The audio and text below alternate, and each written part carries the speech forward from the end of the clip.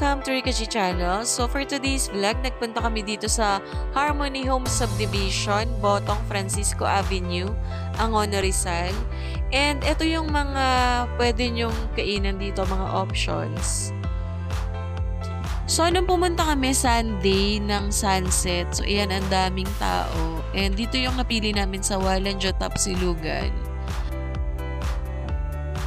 So, ito yung mga option na menu. Yan, mga tapsilog, soft drinks, mineral water for drinks.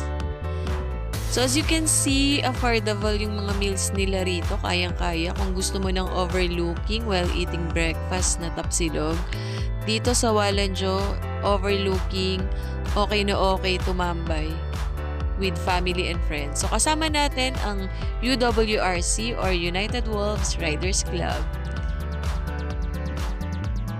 So, since dito kami sa Walanjo, maganda yung pwesto niya kasi overlooking na talaga. Nasa side siya. So, eto, padaanan ko lang yung view sa paligid ng area. Ang ganda ng sunset, nakaka-relax.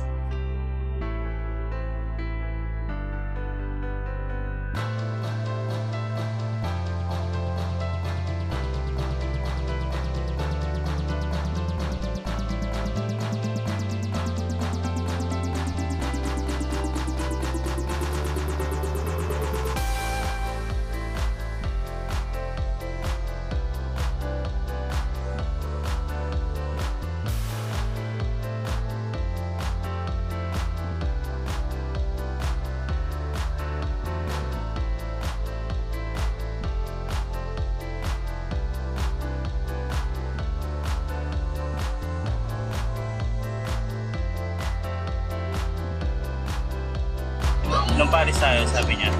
Ayun tayo, uli. Ay, doon pala kayo? Ah, tama namin sila. Hindi, tama namin yun. So, ito na yung order namin. Sobrang bilis ng food, ang bilis nila gumawa, ang bilis ng service, and sobrang init din ng soup nila. Ayan guys, so sa gilid siya, so overlooking talaga kapag dito ka nag-breakfast.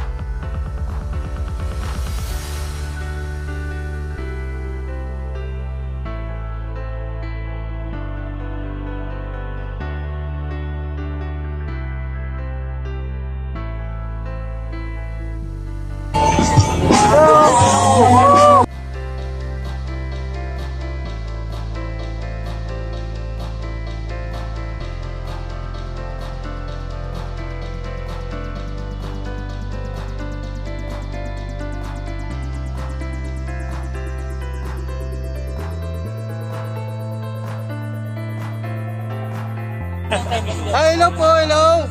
Enjoy na kami dito, enjoy na. Ano? Ayun si Rix. Hi, Steve. Okay. Hi guys. Ano ba tayo ng phone? Welcome. Come and visit here. Dalawa kabila. Kabila yung. Oh my, pangit yung sa kabila. Parang makikita. Ah, makita yan? So guys, kasama natin ngayon ang... Ano Yeah. So, nasaan po kayo? Meron silang request, uh, you're still the one? Etong dami kanina galing to. Hantingin nyo nga yung nagbigay nito. Ang daming request. So, especially for you, MYMP.